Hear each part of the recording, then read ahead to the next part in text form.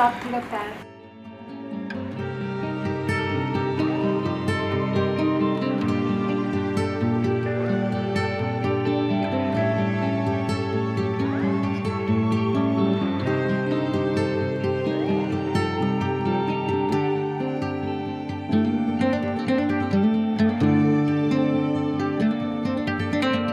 आरफ office में गए? नहीं, वो आज हमारे ऑफ़िस में किसी कारण छुट्टी हो गई।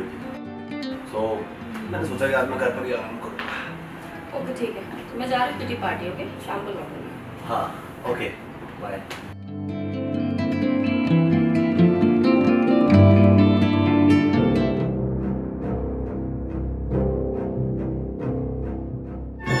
अच्छा सुनो मीना। जरा मेरे कमरे में पोछा लगाते हैं।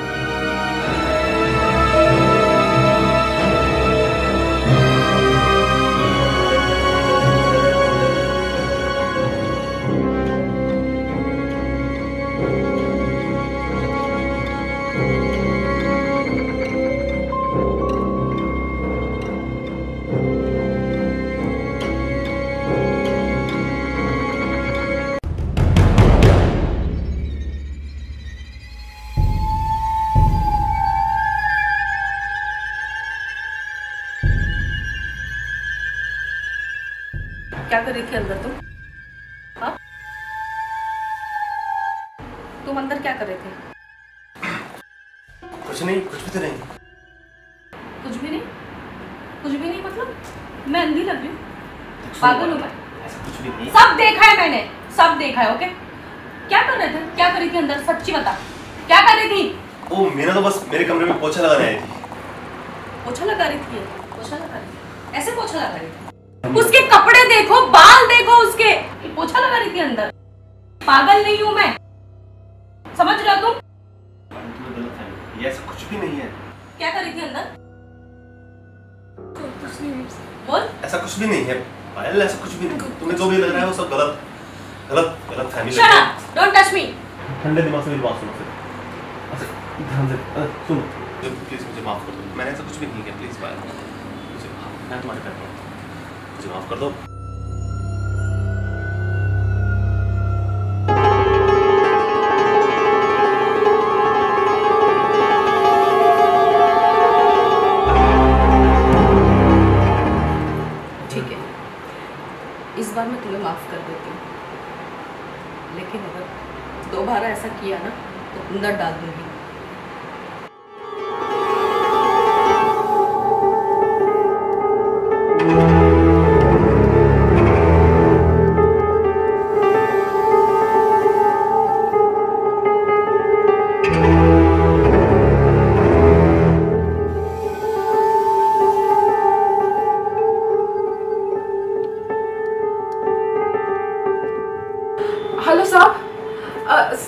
जल्दी घर आ जाओ।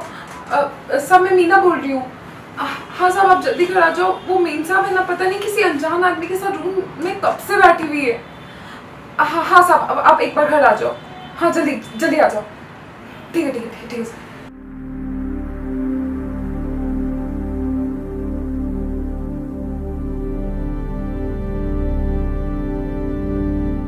कौन था वो? क्या? मैं पूछता हूँ कौन था वो? इस वक्त थे इस कमरे में था। क्या कर रहा था वो यहाँ पर हाँ? अरे दिनेश मेरी बात वो यहाँ पर इतनी देर से तुम्हारे पर्सनल बेडरूम में क्या कर रहा था? अरे सुनो ऐसा कुछ नहीं है। मैं बोलती हूँ ऐसा हम्म? कुछ नहीं है जैसा तुम सोच रहे हो ऐसा कुछ शर्म नहीं आती तुम्हें? हाँ? शर्म नहीं आती? दिनेश मेरी बात सुनो। हाँ? मेरी बात सुनो रिलैक्स इसीलिए आज तुम ऑफ़िस नहीं गई ताकि तुम यहाँ पर गुलछर्रे उड़ा सको। अरे जैसा तुम समझ रहे हो ऐसा नहीं है कुछ। दिनेश प्लीज़ मुझे तुमसे कोई बात नहीं करनी इस बारे में। दिनेश अगर तुम्हें ऐसा लगता है कि मेरी कुछ गलती है तो मैं माफ़ी मांगती हूँ मुझे माफ़ कर दो यार। किसी पराये मर्द को तुम अपने बेडरूम में लेकर इतनी देर से बैठी हो। क्या सिर्फ़ बातें कर रही थी? काम करो मुझे इस वक्त सिर्फ़ एक ही बात समझ में आती है। मुझे तुमसे डिवोर्स चाहिए। क्या? हाँ डिवोर्स मैं तुम्हें माफ़ नहीं कर सकता। डिवोर्स चाहिए? वाह। उस दिन जब तुमने गलती की थी तब ये नहीं सोचा था? हाँ? एक आदमी चाहे कितनी भी गलती करे लेकिन एक औरत को घर के लिए समाज के लिए मजबूरी में उसे माफ़ करना पड़ता है। और वही चीज़ अगर एक औरत करे तो उसे सजा दी जाती है। अपने ज़ुबान बंद रखो पायल। अरे ये तो समझ लो कि उस औरत ने ये गलती की भी है कि नहीं। पायल! चुप रहो। अब मैं बोलूँगी पता तुम्हें वो कौन था? वो एक डॉक्टर था।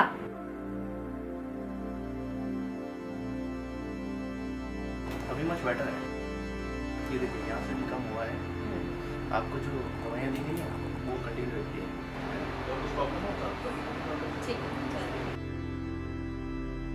मेरी आँखों का इलाज चल रहा है। वो मुझे चेक करने आया था। और इसीलिए वो अंदर था। तुमने इसे गलत समझ लिया? अरे तो क्या बोल रहे थे तुम? कि तुम मुझे डिवोर्स दोगे हम्म? अरे, तुम क्या दोगे? मैं देती हूँ तुम्हें, समझे? ऐसे गलत आदमी के साथ मैं रह भी नहीं सकती हम्म।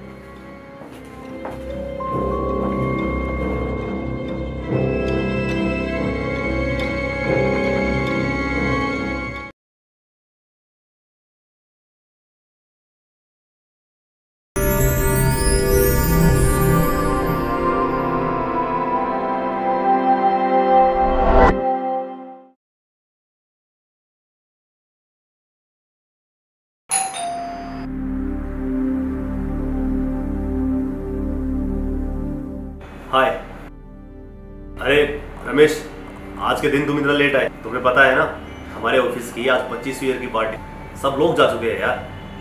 क्या बताऊँ सर इतना ट्रैफ़िक था इतना ट्रैफ़िक था कि मैं तो आते आते ही परेशान हो गया। So sorry sir so sorry खैर आओ अंदर आओ। सर मैंने ना आपको काफ़ी बार कॉल किया। हम लोग ट्रैफ़िक में लेट हो रहे थे। तो मैं सोचा आप परेशान होंगे तो मैं एक बार कॉल करके आपको इन्फॉर्म कर दूँ। बट आपने अटेंड ही नहीं किया। हाँ। यहाँ पर शोर शराबा कुछ ज़्यादा ही था। इसलिए शायद कॉल का पता नहीं चला। और आपकी पार्टी कैसी रही सर? पार्टी एकदम एकदम बढ़िया। बहुत और हाँ रमेश? एक एक ड्रिंक बना दूँ? एक शॉट तो बनता है आज। हाँ भाई एक एक ड्रिंक तो बनता है।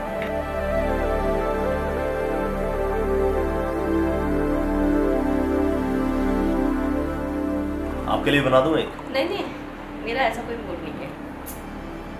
अरे हमारी पार्टी है पच्चीसवीं ईयर की पार्टी तो एक पैक तो बनता ही।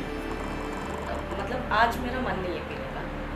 ठीक है ना सर इतना फोर्स कर रहे हैं। और पहली बार आप सर से मिली हैं पहली बार इनके घर यहाँ पे आए हैं। तो चलता है एक एक शॉट बनेगा।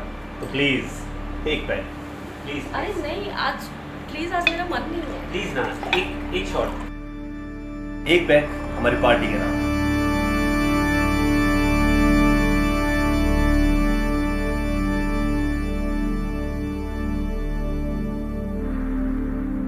Guys, cheers. Twenty five years complete होने के लिए।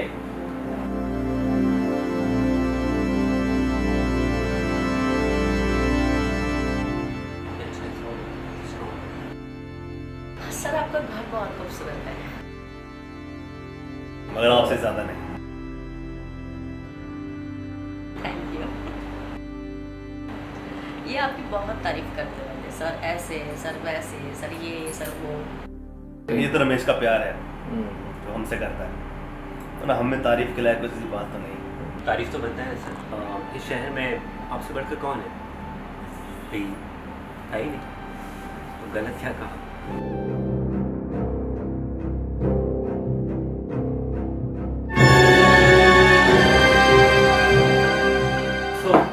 हम लोग निकलते हैं बिकॉज़ बहुत लेट हो गया है। फिर कल ऑफ़िस आने में मैं लेट हो जाऊँगा सर हाँ ठीक है रमेश। तो फिर कल ऑफ़िस में मिलते हैं? बिल्कुल sir okay nice to meet you sir thank you so much good night sir हाँ। बाय सर गुड नाइट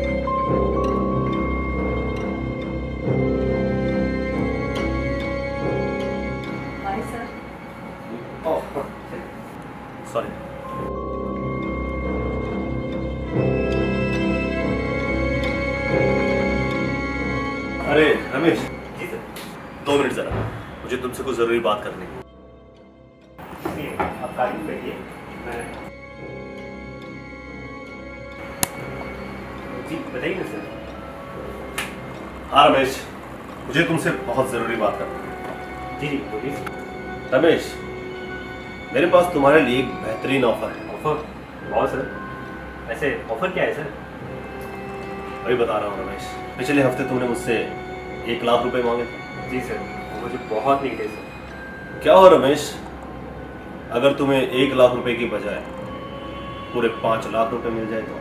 पाँच lakh sir thank you thank you so much sir thank you so much sir thank you की ज़रूरत नहीं है रमेश। बस इसके बदले मेरी एक छोटी सी शर्त है कि मुझे तुम्हारी बीवी रश्मि बहुत पसंद आई। Thank you thank you so much sir thank you बहुत ही सुंदर है क्यों ना रमेश तुम उसे सिर्फ़ एक रात के लिए मेरे यहाँ भेज दो। क्या बात कर रहे हैं सर? रश्मि बीवी है मेरी वाइफ है मेरी। बोले से पहले आप कुछ तो सोचिए सर। रिस्पेक्ट करता हूँ मैं आपकी।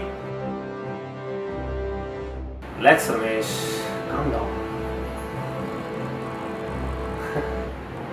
sir आप बोलने से पहले कुछ तो सोचिए सर।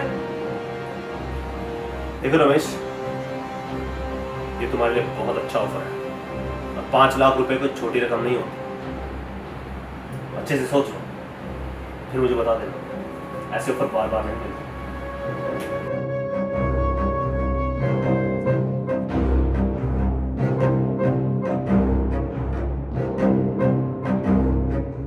क्या हुआ?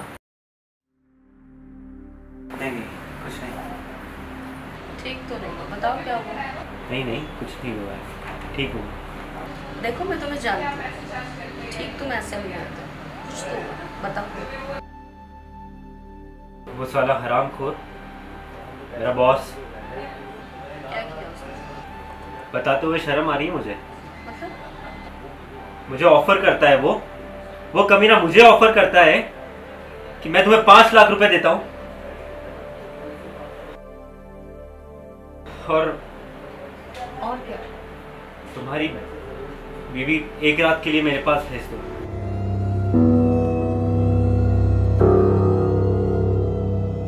तो अच्छी बात है ना? तुमने ऑफ़र एक्सेप्ट क्यों नहीं किया? ले लेते तुम पागल हो। तुम क्या बोल रही हो? मैं तुमसे क्या बात कर रहा हूँ तुम समझ रही हो?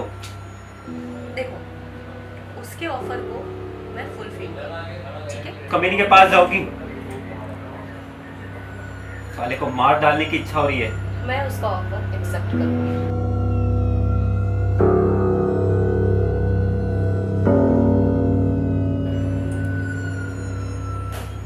वेलकम रश्मि ये है हमारा छोटा सा गरीब खाना। आखिर तुम आ ही गए। मुझे तो आना ही था। आपने मेरे पति को इतनी अच्छी ऑफ़र जो दी थी। सच कहूँ रश्मि मैंने जब से तुम्हें देखा है दिन रात बस तुम्हारे बारे में सोचता रहता हूँ। लेकिन मैं चैन है। मैं भी आपके बारे में बहुत सोचती हूँ। अब ऐसा लगता है कि ये शाम और भी रंगीन हो गई। लेकिन मैं क्या सोचती हूँ ना ये मैं आपको बता दूँ। आप शायद जानते नहीं हैं मेरी और रमेश की शादी लव मैरिज है। और मेरा भाई जो है वो बहुत बड़ा बिजनेसमैन है। आपने वो क्या ऑफ़र दिया था मेरे पति को? मैं यहाँ आऊँगी तो आप उन्हें पाँच लाख रुपए दोगे। ऐसा ही? आज मैं आपको एक ऑफ़र देती हूँ दस लाख रुपए। का एक काम कीजिए आप अपनी बेबी को मेरे भाई के पास भेज दीजिए। वो आपको दस लाख रुपया दे देगा। चलेगा आपको? क्या पक रही हो तुम? ये सोच भी कैसे लिया तुमने? तो आपने कैसे सोच लिया? हाँ? आपने कैसे सोच लिया कि मैं यहाँ आऊँगी और आप पाँच लाख रुपया दे देंगे? आपको क्या लगता है? हर औरत बिकाऊ है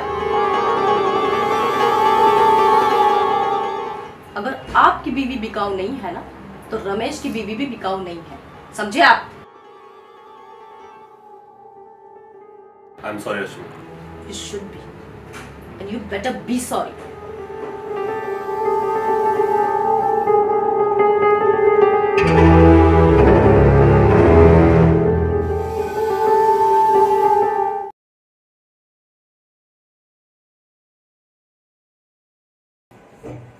नमस्ते सर। अरे नमस्ते मोहन।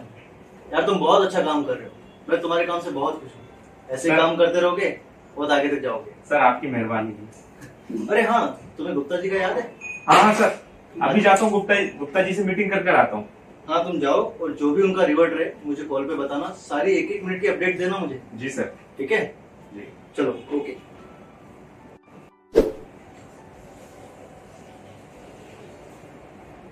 हेलो रीना हाँ वो जो प्रोजेक्ट दिया था वो हुआ। हाँ एक्चुअली क्या है मैंने मोहन को गुप्ता जी के पास में भेजा तो उससे रिवर्ट लेते रहना। तो जो भी हो मुझे बताना वो इम्पोर्टेंट है बहुत। अच्छा सुनो तुम्हें कुछ फाइल्स देनी है तो तुम मेरे कैबिन में आओ ना। ओके मैं वेट कर रहा हूँ। हेलो हाय रीना हाँ वो पूना वाले क्लाइंट से बात हुई तुम्हारी? क्या रिस्पॉन्स रहा उनका?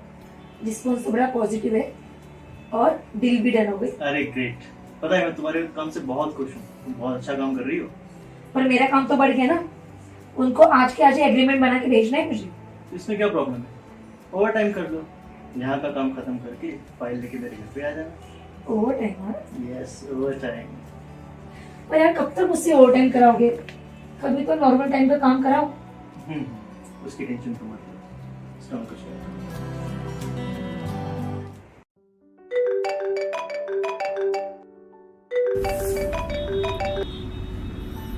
हाँ मोहन। वो मिकी ब्रदर्स का कुछ हुआ? जी सर काम पूरा हो गया है। आपका उस मीटिंग फाइनल करने के लिए चला जाओ हाँ बेशक चले जाओ लेकिन परसेंटेज का थोड़ा ध्यान देना ना? Okay hello. अरे रीना। आओ। कैसे बढ़िया हो गया तुम्हारा काम? यार ये रोज के टाइम से ना बड़ी प्रॉब्लम में फंस चुकी हूँ। तुम्हें तो पता है ना मेरी स्टेप मदर मुझे बहुत परेशान करती है। सुनो तुम उसकी टेंशन मत ये सब मैं देख मैंने कुछ सोच रखा क्या? मेरा घर भी हो सकता है? यस yes, मैंने सब प्लानिंग करके जैसा मैं बोलता हूँ सिर्फ़ तुम वैसा कर सब ठीक है। हाँ। तुम सिर्फ़ मेरे परसेंटेज कर उसका हो जाएगा सर नमस्ते। चलो मैं बात करूँ अरे आओ मोहन आओ। कैसे हो तुम? सर बहुत बढ़िया। जैसा आपने कहा था वैसे ही डील करके आया। और बहुत ही अच्छे परसेंट में करके आया सर। तुम्हारे काम की तो कोई कोई नहीं है यार। तुम जैसा मैं बोलता हूँ वैसा ही तुम काम करते हो। बैठो ना। और बताओ मोहन शादी वादी हुई या नहीं? सर इस गरीब की कहाँ शादी? कौन अपनी लड़की देगा? अरे क्यों नहीं देगा यार? तुम्हारी शादी का जिम्मा मैं लेता हूँ। तुम सिर्फ़ तैयारी करो। सर गाँव में तो माँ बहुत खुश हो जाएगी यह सुनकर कि मेरा घर बस रहा है। अरे बसेगा क्यों नहीं यार? मैं हूँ ना मैं किस लिए हूँ? तुम ये बताओ तुम्हें रीना मैडम कैसी लगती सर कहाँ रीना मैम और कहाँ मैं? अरे तुम उसकी छोड़ो तुम्हें ये बताओ कैसी लगती है? सर अच्छी तो लगती है सर। अच्छी लगती है ना? जी। देख रीना मैडम को भी सहारे की ज़रूरत है। तो क्यों ना मैं तुम दोनों की शादी करा दूँ? सर बहुत मेहरबानी होगी। अच्छा है ना? तो तू तैयारी कर। इस सब का जिम्मा मैं लेता हूँ। सर अरे रे तुम तो तैयारी करो। बाकी मैं देखता हूँ। ठीक है? जी सर। काम हो गया है। तुम सिर्फ़ तैयारी करो।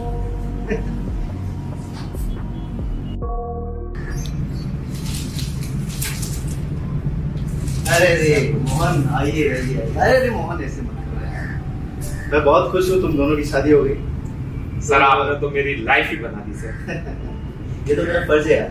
तुम दोनों मेरे एम्प्लॉय हो। I am proud of you Mohan. तुमने मेरा कहा माना। एंजॉय करो अपनी लाइफ को ऑफ़िस में मिलते हैं। ठीक है? अरे रे मोहन ध्यान रखो।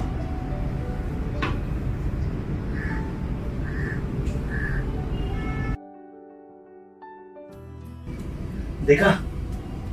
तुम्हारा काम हो गया। तुम्हें घर भी मिल गया पति भी मिल गया और हम दोनों का काम भी चल रहा है। वाकई में तुम्हारी काम कर देखा मेरा दिमाग? आज तो रीना को खुशखबरी देता हूँ। तीन दिन का काम दो दिन में खत्म हो गया। खुश हो जाएगी।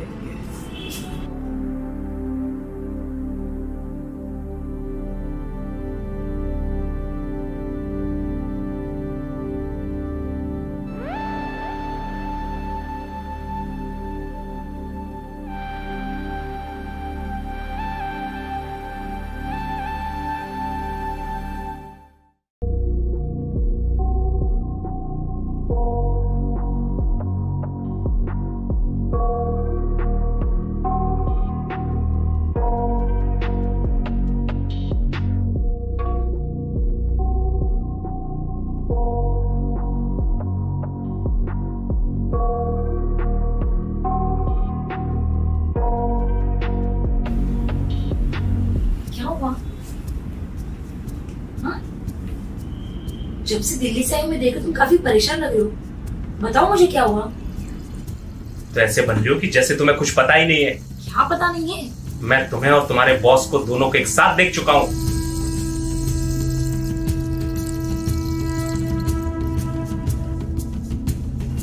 देखो अब तुम्हें सब पता चली गया तो मेरी बात सुनो। ये सब कुछ मैंने मजबूरी में किया है। तुम्हें तो पता है जो मेरी सौतेली माँ है मुझे बहुत परेशान करती थी। और उससे बचने के लिए मुझे एक सहारे की ज़रूरत थी। और वो सहारा मुझे बॉस में मिला। पर तुमसे शादी करने के बाद अब मुझे सहारे की ज़रूरत नहीं है। अब मुझे सिर्फ़ तुम्हारे सहारे की ज़रूरत है। मुझे पूरी ज़िंदगी तुम्हारे साथ बितानी है। प्लीज़ मुझे माफ़ कर दो। प्लीज़ मुझे माफ़ कर दो। मैं चला अपने गाँव अपनी माँ के पास। मैं भी चलूँगी तुम्हारे साथ। तुम सब छोड़ सकोगी ये? हाँ मुझे अभी तुम्हारे सिवा कोई नहीं चाहिए। सच कह रही हो तुम? हाँ मैं सच कह रही हूँ। चलो अभी के अभी चलते हैं ठीक है चलो The number you have called is currently switched off. Please try after. The number you have called is currently switched off. Please try after some time. The number you have called is currently switched off. Please try after some time. The number you have called is currently switched off. Please try after some time.